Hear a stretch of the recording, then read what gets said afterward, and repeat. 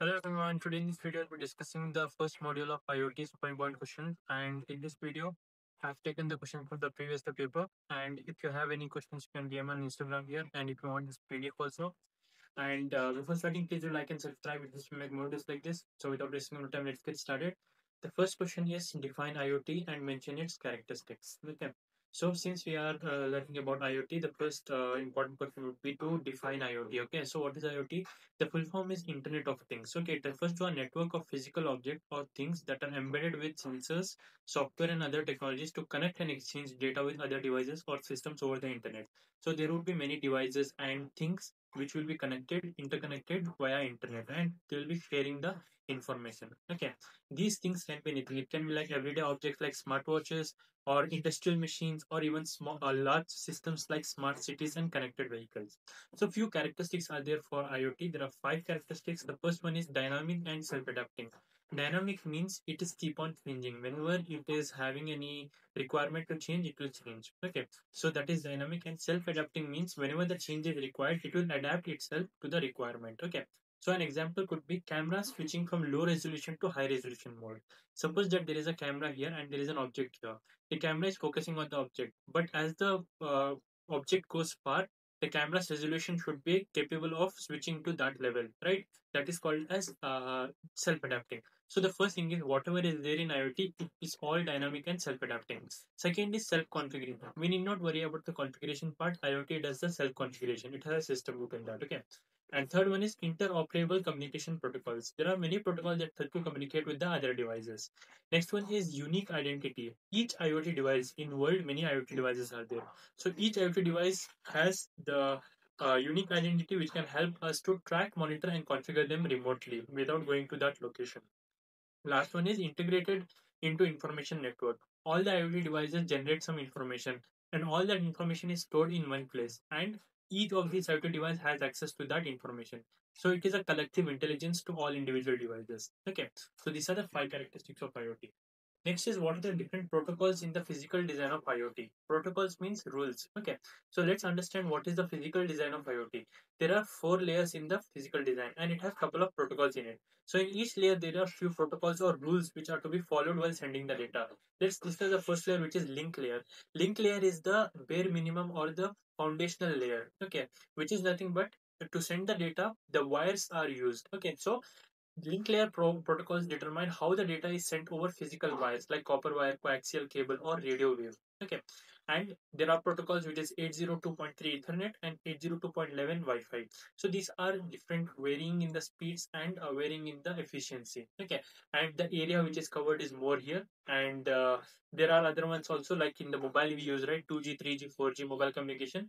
Those are all the protocols for the link layer on the top of link layer we have the network layer or internet layer. It is responsible for sending ip ip means internet protocol datagrams over the internet and two protocols are used. You might have heard a lot previously also ipv4 and ipv6 okay so ipv4 is a 32 bit address scheme. It allows total of 2 power 32 addresses but in 2011 these were exhausted. So ipv6 was made. Okay so ipv6 has total of 128 bit address. That means 2 power 128 addresses can be utilized. Okay, that's a, a very huge number. After that, we have the transport layer. Transport layer provides end-to-end message transfer capability independent of the underlying network. No matter what the network is, the transport layer will ensure that the data is transferred. Okay, there are two main protocols in it based on our requirement. One is TCP, another one is UDP.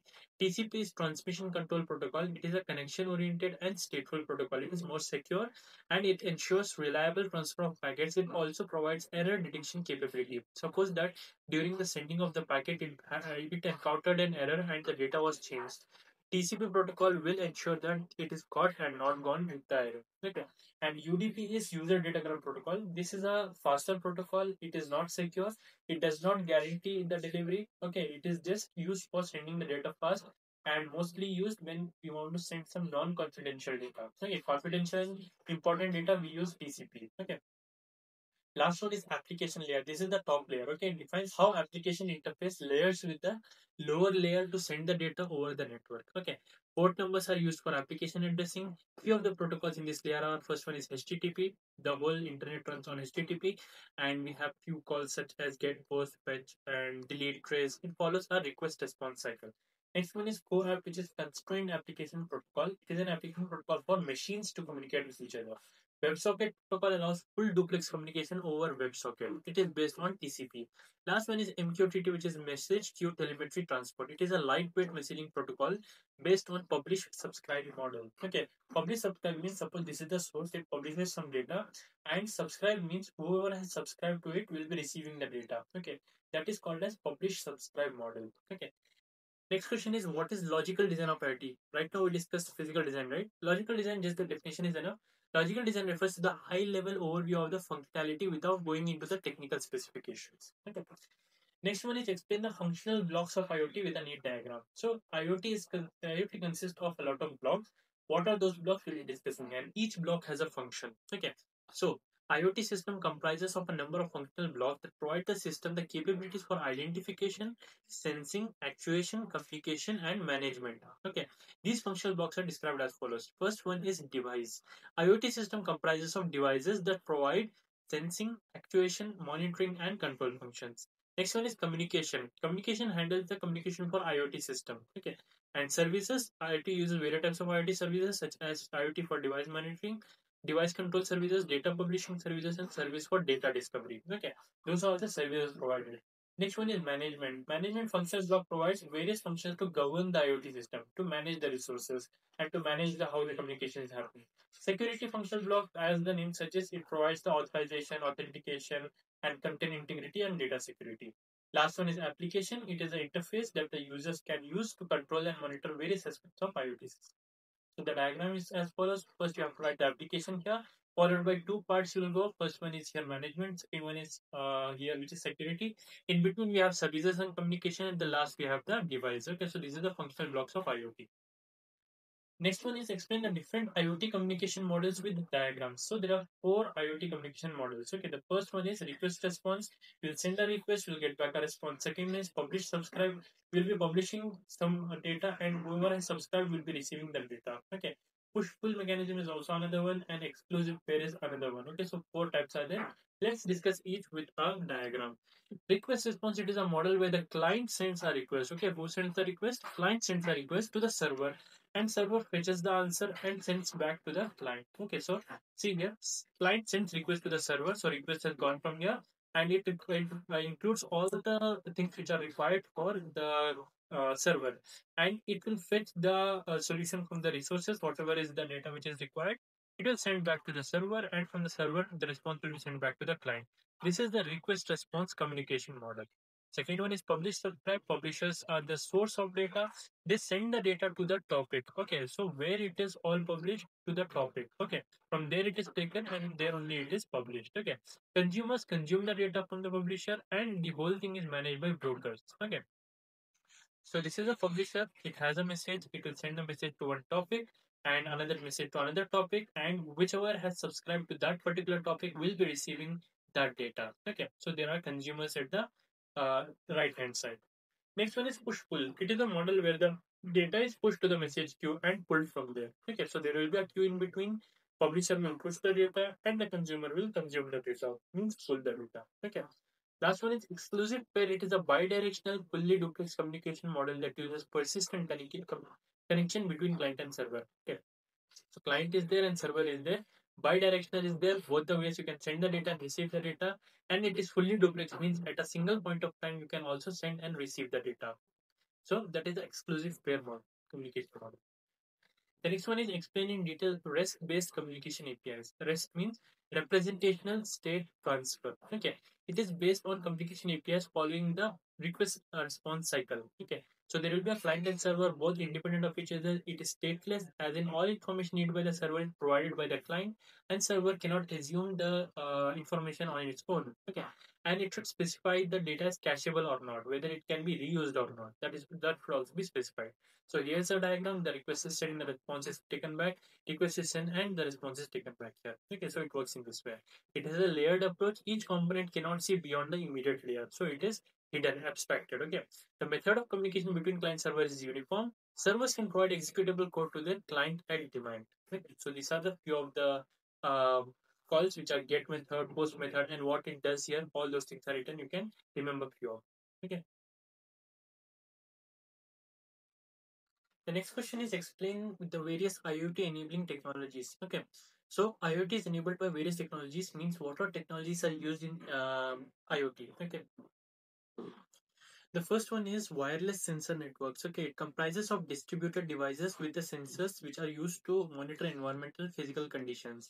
Means if an IoT device is in middle of forest, okay, it will have sensors to detect many things which it requires for its security. Okay, so that is called as wireless sensor network. There will be a lot of sensors. It consists of end-to-end nodes and routers for transferring data packets.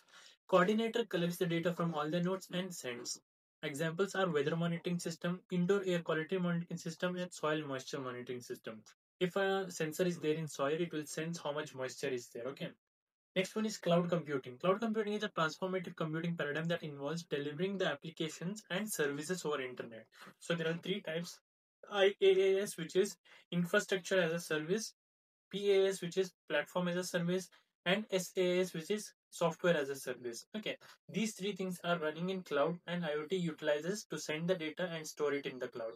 And to anal- analyze the data and process the data, we, we require big data analytics. Okay, big data is defined as a collection of data sets whose volume, velocity, or variety is so large and it, that it is difficult to manage via traditional DB methods. Means the data is too huge, we cannot process it using the existing uh, database methods. Some of the big data generated by IoT are sensor data for weather monitoring and machine sensor data from embedded systems, health and fitness data from, from wearable fitness bands. Okay, the underlying characteristics of big data include volume, velocity, and variety. Next is communication protocols. There are protocols which define how the data should be and uh, how it is transferred over the internet. Okay, embedded system. These systems are designed to perform a specific task and are attached to the main device, like washing machine. In washing machine, you cannot do other things other than washing the clothes, right? So that is a specific uh, task which it has inside uh, the system. IoT sensors are also embedded system. They are form an integral part of the main device. Next one is explain briefly the levels of IoT 1 to 6. Okay, so six levels of IoT are there. Each level has a different um, depth of information. Okay, so IoT level 1. In level 1 IoT, it has a single node or device which performs sensing and actuation it stores data, performs analysis, and hosts the application as shown below. So example is home automation system. It consists one single node that controls the light and appliances in a room. The info should be stored in a local DB. REST services are used for updating and retrieving the status of the light. There is a UI for handling all of this. Okay, so there is an application for handling the UI and it uses the REST or web socket services for transferring the data between them. Database stores the actual data. Control service is connected with resources and the device. IoT level 2. In level 2 also it has single nodes performing sensing or actuation. The, the, the difference is data stored in cloud. So the example can be smart irrigation system. Single node that monitors the soil moisture and the controller service continuously monitors the moisture levels and moisture once the moisture level drops irrigation system is turned on so there is an actuator also if something happens what should uh, be the action okay it is a trigger what should be the action okay so in the cloud we'll be having the data stored and in the local part we'll be having the uh, sensors okay? In level 3 also it has a single node but the data is stored as well as analyzed in the cloud okay? Previously we were not analyzing the data. Now we are also analyzing. So system for tracking package handling. The system monitors vibration levels for a package being shipped okay? And the device in this system uses gyroscope and accelerometer for monitoring vibration levels Controller service sends the controller data to the cloud. Analysis happens on the cloud that can trigger alerts if the data is greater than the threshold. Means the data is damaged. Like that, okay, package handling. Handling means it should not be moving more, right? So that it detects and uh, tells to the, um, it triggers and tells to whoever is concerned about it, okay? Next one is IoT level 4. It has multiple nodes. Instead of single node, it has multiple nodes. It performs local analysis. Data is stored in cloud and application based. It has publish subscribe model. Okay. So example can be noise monitoring. It consists of multiple nodes placed in different locations. It are in, those nodes are in front of each other. It runs its own controller service. Each node runs its own controller service. Cloud-based applications are used for visualizing the data. So this is the diagram as you can see in the cloud we have the data which is stored. Multiple nodes are there which is uh, handling the data means gathering data and sending to the cloud. Next level is iot level 5 it has multiple nodes and one coordinator node. The coordinator node controls all the other nodes. The end nodes perform sensing or actuation. Sensing means checking if something is greater than or lesser than the required uh, threshold. Actuation means what should happen if it is greater or lesser than the required threshold.